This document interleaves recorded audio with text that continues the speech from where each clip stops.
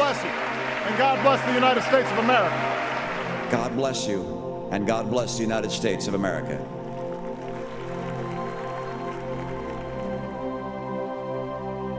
The interesting thing to me about the role of religion now is, is what we're not hearing. It's the dog that isn't barking all of a sudden. Uh, the problem that Mitt Romney's had is a lot of, um, particularly Southern Baptists or Christian fundamentalists, don't take the Mormon church as being Christian. The stained glass ceiling is really what we're facing at this point. And if a Mormon succeeds in, in getting elected president, that's uh, another religious barrier that will have been broken.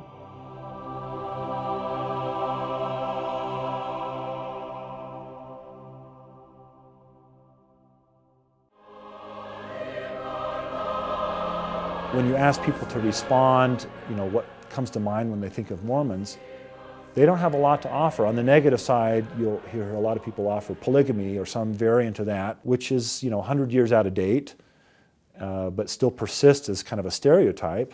We heard from a couple of people who had been Romney supporters who went door to door. They were part of the, the ground movement. And they contacted us to say what happened is that they were going door to door in uh, Christian, you know, Christian neighborhoods and people were, as politely as they could, slamming the doors in their faces. He's a Mormon. I'm not voting for a Mormon. One thing that a Romney candidacy, but especially a Romney presidency would do, if he, if he were to succeed, on and off we would spend some time hearing about Mormonism because our president is Mormon. And it would serve to demystify it a little bit.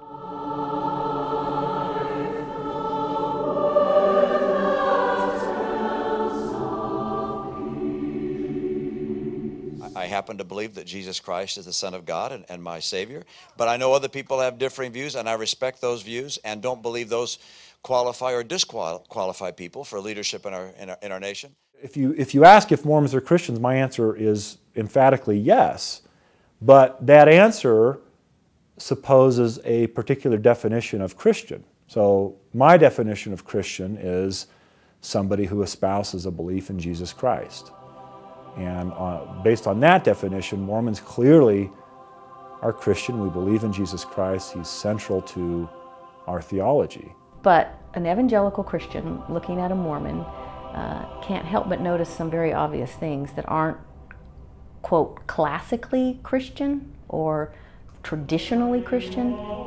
For instance, there's no Trinity. Uh, you know, for evangelical Christians, like actually most Christians in this country, they pray to the, quote, Father, Son, and Holy Spirit um, as a tripartite way of looking at who God is.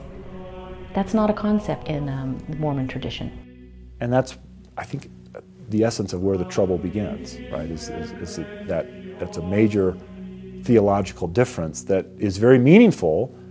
It's not, I don't think it's so meaningful for politics. So Mormons and evangelicals, to some degree, actually get along on questions of politics, on things like gay marriage and abortion and, uh, and other kind of social issues like that.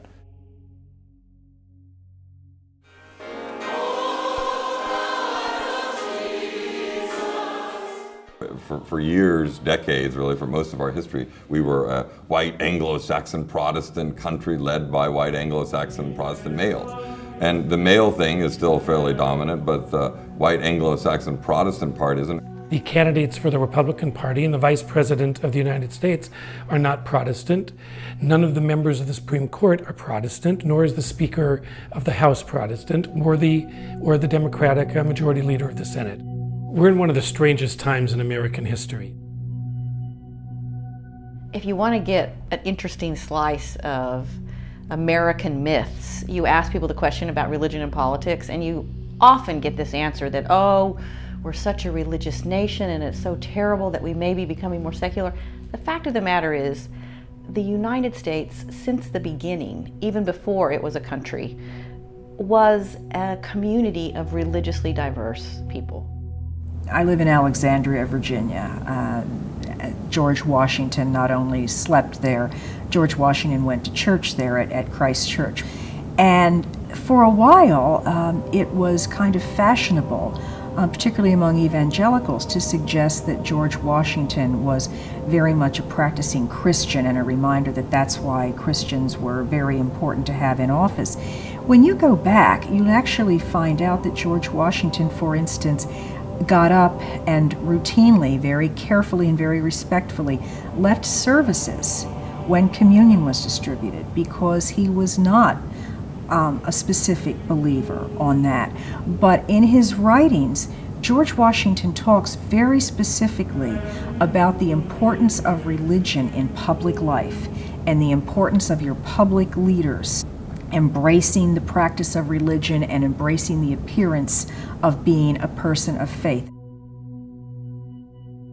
I am not the Catholic candidate for president.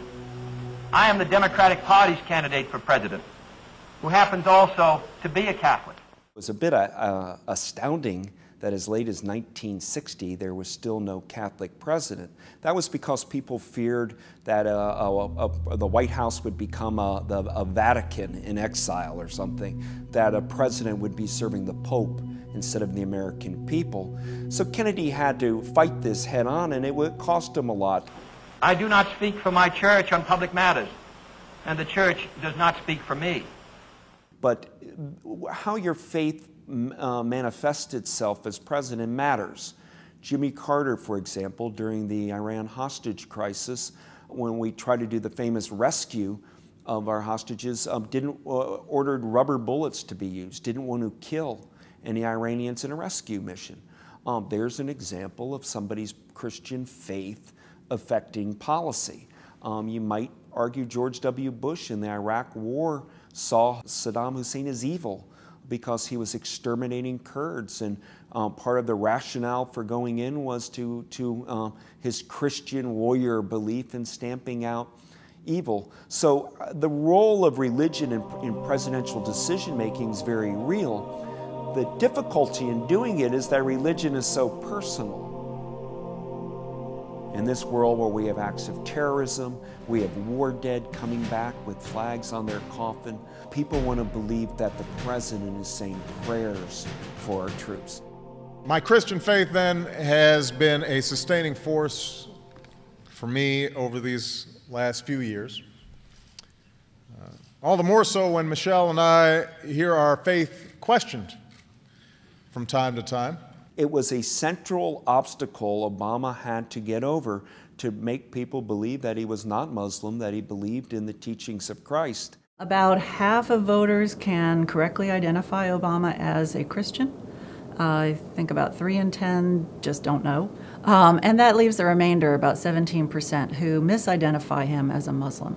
And we're seeing the growth in that misperception particularly stronger among uh, conservative Republicans. We are reminded that ultimately what matters is not what other people say about us, but whether we're being true to our conscience and true to our God. He is a Christian, but he had to argue it just simply because of his name. Uh, his opponents would put Hussein in there a lot. This is after Saddam Hussein had become the most loathed figure in, in the planet. Um, and so they were trying to tattoo Obama with somehow being different. He is a faithful Christian. He lives it, he acts it. At the same time, he has members of his family who are Muslim. He has members of his family, uh, extended family, who are Jewish. He has members of his family who are Catholic. So he represents, in some way, the type of universal American religion, that religion of it doesn't matter where you pray as long as you go to church on Sunday.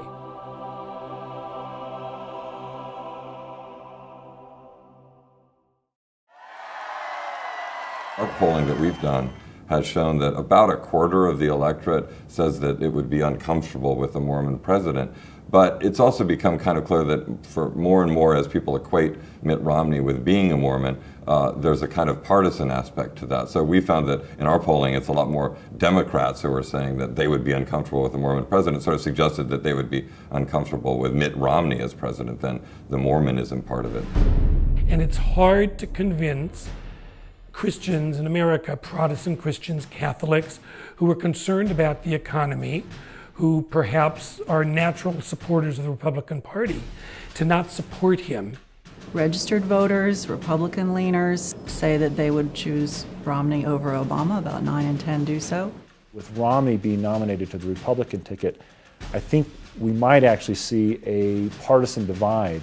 So you're going to see Republicans who were resistant as recently as just a few months ago to voting for a Mormon, who are suddenly uh, coming around to the idea because, in the context, the alternative is to vote for Barack Obama or not vote at all. Marriage is a relationship between one man and one woman. It's hard to disentangle the role of uh, a candidate's religious faith from positions on social issues such as abortion and homosexuality um, being two uh, hot button ones right now. I think about 7 in 10 to two thirds of voters say that having a president who holds strong religious beliefs is important to them. If you think that religion refers to just a set of doctrines or, you know, where somebody goes to church or synagogue, is that going to directly impact how they vote? Eh, it's going to play a role. If religion, though, even more broadly describes how they put together the world, what values matter to them, then that's going to have a profound effect on who they vote for. This would be a campaign that'd be driven by myriad issues like you know tax policy or Medicare or the, the kind of nitty gritty of the technical things, and then there are the whole range of issues which to me are always the more important ones, which is kind of a person's approachability, what people feel about his willingness or ability to be uh, commander in chief, and things like that. It's in that category really that the religion aspect to it falls, which is mainly a, a, matter of you know how much can I trust this person, how much do I relate to him, uh, is he like me? So religion is constantly playing out, but at the end of the line, most voters don't want to know too much information. They just want to believe that their president believes in God and, and has a spiritual side to them, that they're not robotic and they're not atheist. But what both Barack Obama and Mitt Romney share as does Paul Ryan and Joe Biden. All candidates say, I'm a Christian and I believe in God.